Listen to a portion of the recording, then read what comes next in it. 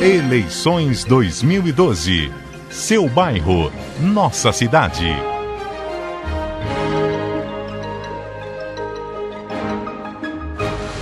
Cidade Tiradentes é um distrito situado no extremo leste da cidade que fica a 35 quilômetros do Marco Zero, no centro de São Paulo.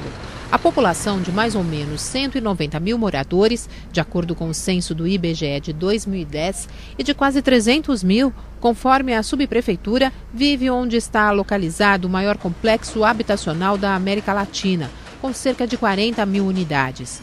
É denominada cidade dormitório, já que a falta de uma infraestrutura adequada às necessidades da região acabou empurrando a população para outros locais em busca de emprego.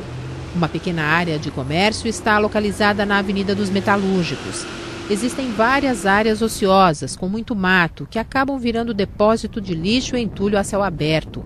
Muitas praças não são bem conservadas e se transformam num bom prato para animais, que ajudam a manter o capim baixo.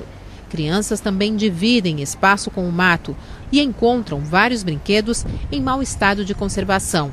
Sem calçadas em alguns trechos da estrada do Iguatemi, Carros abandonados tomam conta do espaço que deveria ser do pedestre.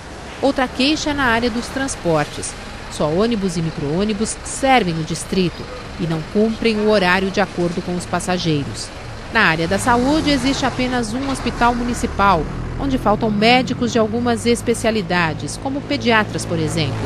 Os cerca de 20 equipamentos, entre AMAs e UBSs, pouco dão conta do atendimento para uma população de até 300 mil pessoas, com relatos na demora de marcação de uma consulta entre quatro e sete meses.